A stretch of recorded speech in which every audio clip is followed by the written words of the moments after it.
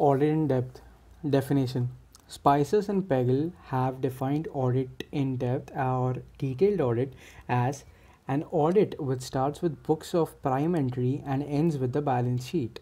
The checking sequence is arranged in order of recording the transaction in the primary books.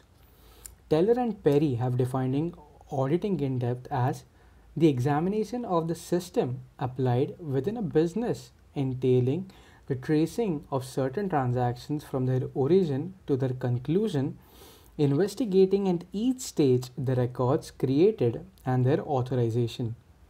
It is a method according to which a few selected transactions are subjected to a thorough scrutiny, informing an opinion as regards the accuracy of the date so scrutinized.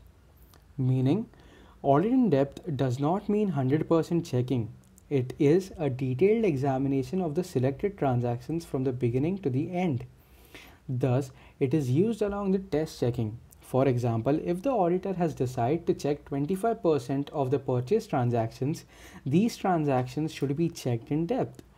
Auditor should check the purchase requisition, tenders, purchase orders, purchase bills, goods received note, inspection note, purchase journal, stock registered, bin card, and so on. Thus, the auditor should check the purchase transaction right from the beginning to the end. Such examination in depth helps in tracing back the audit trail. This enables him to study and evaluate the accounting system and internal controls and decide upon further checking what, when, how, and how much to check. Thus, audit in depth is suitable in case of large concerns. Advantages it improves the accuracy of audit work. It helps to prevent and detect the fraudulent manipulation of accounts. It avoids boring routine audit work. The auditor can employ new ideas and techniques. It reduces the cost of audit. It helps in preparing audit plan. Disadvantages. It is less useful in selection of item is wrong. It may lead to loss of time and extra cost if the selected items are not checked properly.